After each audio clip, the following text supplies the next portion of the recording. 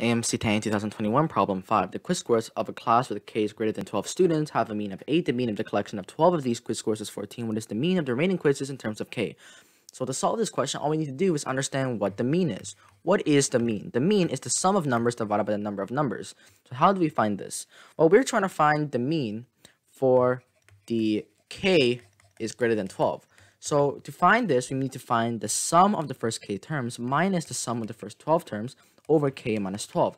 This will give us the summation, or the mean rather, of the remaining quiz scores other than the first 12. That is coming out of uh, the very definition of what a mean is.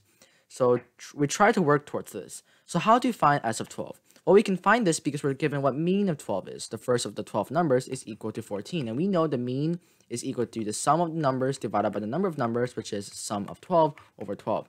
So S of 12 equal to 168. So as uh, if S of 12 is 168, we can substitute to get S of k minus 168 over k minus 12. Now, if you look at this, you can immediately have a suspicion that it's b. But how do we make sure it's b? We have to find out what S of k is. So how do we find S of k? Well, S of k is very simple to calculate. We know that k is greater than 12, so that means the mean is 8. So we can utilize this information.